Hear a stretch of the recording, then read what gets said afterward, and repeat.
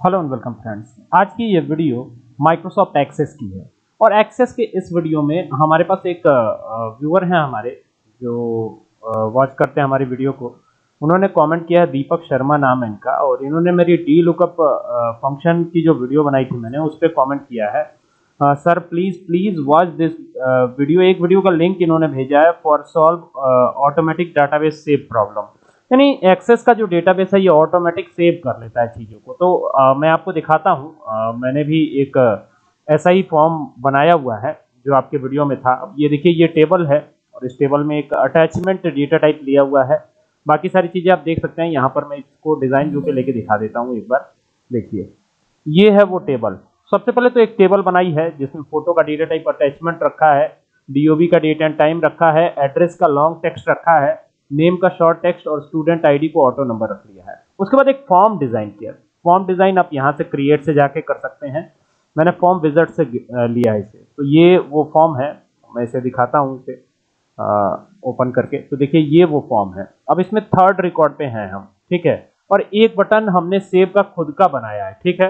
अब क्योंकि एक्सेस में ये क्वालिटी होती है कि ये ऑटोमेटिक डेटा को सेव करता है, मैं आपको दिखाता हूँ कैसे। जैसे मान लीजिए, अगर आप कोई नया डेटाबेस क्रिएट करते हैं तो ऐसे में जो भी चीज़ें हैं वो ऑटोमेटिक सेव होती रहती हैं। कैसे? आइए दिखाता हूँ। यहाँ पर जैसे समझाने के लिए एग्ज़ाम्पल के लिए आईडी रख लेता हूँ और यहाँ पर नेम करता हूँ और यहाँ पे कर देता हूँ एड्रेस ठीक है?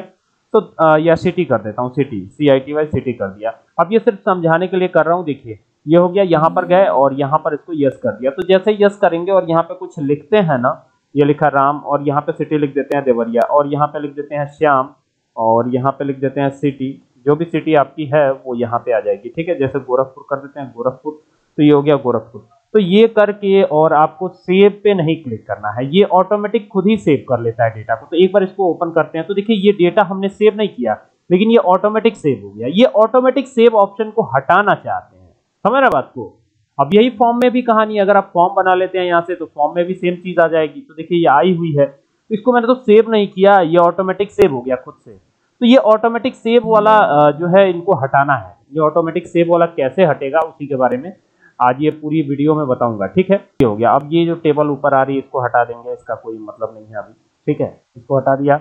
अब क्या करना है, इसको ऊपर कर लेंगे थोड़ा सा और यहाँ से थोड़ा सा इसको नीचे करेंगे। अब यहाँ से व्यू पे क्लिक करेंगे, ये इस तरीके का दिखाई देगा। हमें यहाँ पे एक बटन बनाना है। तो बटन कैसे बनाएँगे? अच्छा एक्सेस में डेटा ऑटोमेटिक सेव होता रहता है। ये तो मैंने अभी आपको दिखाया। तो ये सेव ना हो, इसके लिए क्या किया जाए? यही सवाल है।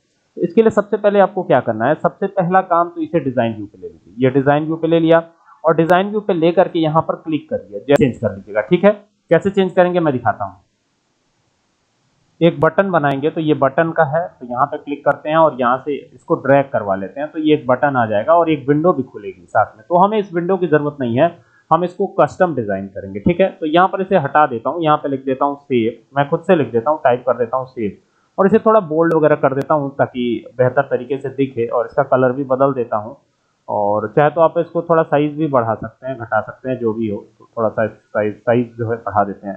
तो ये सेव का एक बटन आ गया। लेकिन इस बटन को हमें कस्टम डिज़ाइन करना है। तो यहाँ पे रख करके कर्सर को और कहाँ जाना है, हमें अदर्स वाले विंडो पे जाना है और इसको एक नाम दे देंगे। क्या नाम देंगे? हम इसे नाम देंगे सीएमडी क्या नाम देंगे? सी सेव क्या नाम देंगे? सी सेव तो यहाँ लिख देते हैं CMD save S A B CMD save लिख दिया।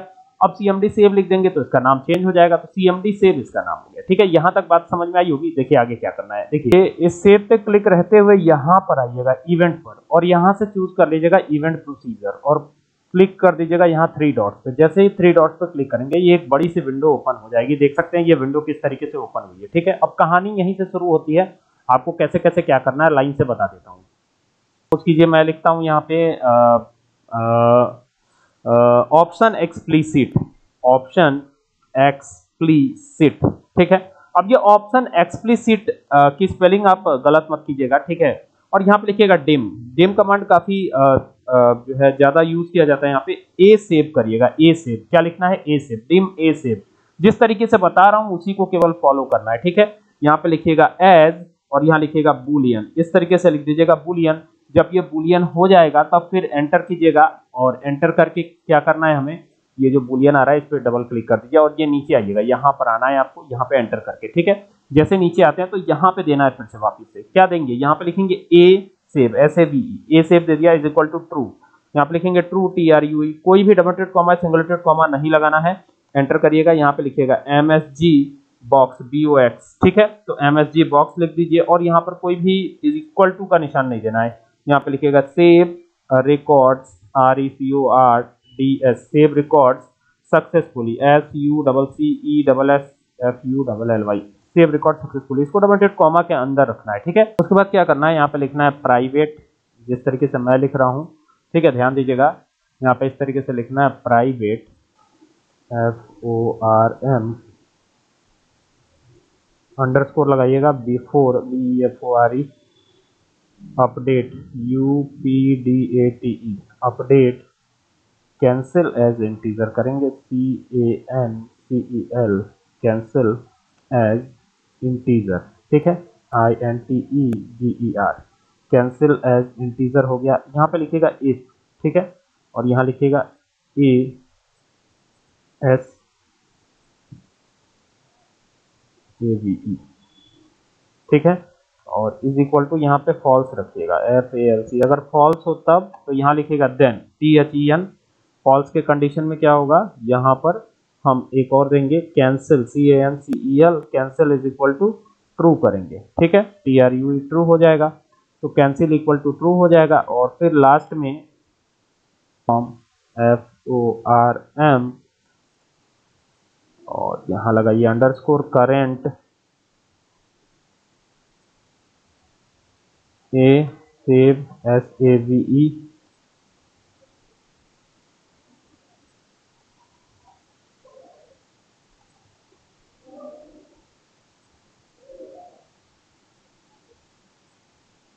यहाँ पे A save is equal to false कर लीजिएगा और एंड सब कर लीजिएगा। ठीक है, एक चीज़ और आपको ध्यान देनी है। कोडिंग करते समय ऊपर ये मैसेज बॉक्स करिएगा। यहाँ पर गलती हो गई थी हमसे। एम एस जी बॉक्स करना है आपको, ठीक है? और इसको सीधा सेव पे क्लिक करना है। ये जो सेव का बटन है ना, इस पर क्लिक कर दीजिएगा। क्लिक करके इसको मिनिमाइज कर दीजिए, अब काम हो जाएगा आपका आसानी से। अब जैसे मान लीजिए अभी कितने रिकॉर्ड हैं? मैंने कुछ और भी रिकॉर्ड एंटर कर दिए हैं इसमें। आप देख सकते हैं यहाँ पर आते हैं, पाँच रिकॉर्ड फुल हो गए हैं। थोड़ा सा आते हैं, देखते हैं क्या क्या नाम लिखा हुआ है। पहला राम है, ठीक है? और दूसरा क्या है? दूसरा देखिए, यहाँ पर श्याम है। तीसरा क्या है? सुराया एक नाम आ गया। चलिए ठीक है। और यहाँ पे सूर्या एक और नाम आया हुआ है, ठीक है? तो यहाँ पर देख सकते हैं, ये कुल पाँच नाम है, ठीक है? हालाँकि छह तक आ गया ये देख सकते हैं, ये वन से शुरू हुआ। फिर ये दूसरा किसका है? ये दूसरा श्याम का है। चौथा जो है, तीसरा गायब है, चौथे से आया हुआ है। तो चौथा है सुराया करके, ठीक है? और पांचवा पांचवा भी नहीं है, छठवा है सीधा, ठीक है? तो ये इस तरीके से आया हुआ है, उसके बाद कोई नाम नहीं है। सूर्या के बाद कोई नाम नहीं है। तो अगर मैं यहाँ पे सूर्या लिखता हूँ, या कोई और नाम लिखता हूँ, जैसे रितेश लिख देता हूँ, एक नाम, ये रितेश लिख दिया और यहाँ पे कर देता हूँ देवरिया, एड्रेस देवरिया कर देता हूँ तो ये देवरिया कर दिया। अब मैं इसको सेव नहीं कर रहा हूँ, ठीक है? ध्यान दीजिएगा सेव नहीं कर रहा हूँ। लेकिन पहले तो सेव हो जाता था, लेकिन अब सेव नहीं होगा। तो देखिए, यहाँ पर इसको क्लोज कर दिया, सीधा क्लोज कर दिया। अब इसको ओपन करते हैं, देखते हैं, रितेश नाम आया है या नहीं आया है। तो यहाँ पे देख सकते हैं, कहीं भी आपको रितेश नहीं दिखाई देगा। ये देखिए, ये सूर्या है, सुराया है और श्याम है और यहाँ पे राम है। बाकी रितेश तो नहीं आया, लेकिन क्या होगा अगर सेव पे क्लिक कर दें? तो आइए देखते हैं यहाँ पर। यहाँ पे न्यू नाम ऐड करते हैं, फिर से रितेश लिखते हैं और इस बार हम सेव बटन पे क्लिक करेंगे। तो ये रितेश हो गया और यहाँ पे कर देते हैं देवरिया। तो ये देवरिया भी हो गया और अब हम सेव पे क्लिक करेंगे। तो सेव पे जैसे ही क्लिक किया तो ये लिखा हुआ है सेव रिकॉर्ड सक्सेसफुली जो मैंने वहाँ पे दिया था, याद आ रहा है आपको कोडिंग में। ठीक है? तो ये हो गया। अब हम इसको क्लोज करते हैं। अब देखते हैं सेव हुआ या नहीं हुआ। एक बार चेक करते हैं। अब तो सेव हो ही गया होगा, क्योंकि हमने इसको सेव पे क्लिक कर दिया है। तो यहाँ पे देखिए, ये दूसरा, ये तीसरा, ये चौथा, ये पांचवा, देखिए रितेश आ गया। ठीक है? तो इस तरीके से आप कर सकते हैं। ठीक है ना? आई होप कि आपको बात समझ में आ गई होगी, आपकी प्रॉब्लम सॉल्व हो जाएगी इससे, और अगर प्रॉब्लम सॉल्व हो जाए तो मुझे बहुत खुशी होगी। Thank you for watching this video